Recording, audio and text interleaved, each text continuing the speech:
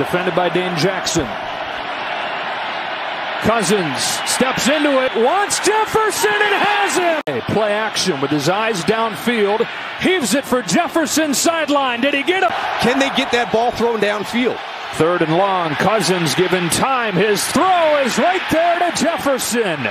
First catch of the day for one of the NFL's best is a big one. Another third down, third and three. Cousins looks to throw, lofting for the end zone, and Jefferson. Cousins, can he do it again? It's Jefferson again.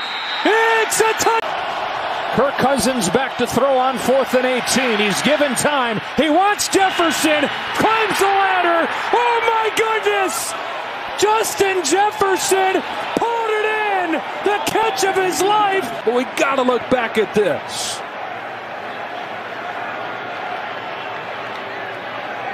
How does he maintain possession all the way through, not allow that ball to hit the ground, especially with what was. Cousins steps up. Jefferson inside the third and seven. Cousins zips one for Jefferson. First down, Menace have been waiting for. Snap it quick. Cousins to the sideline. Jefferson, timing pattern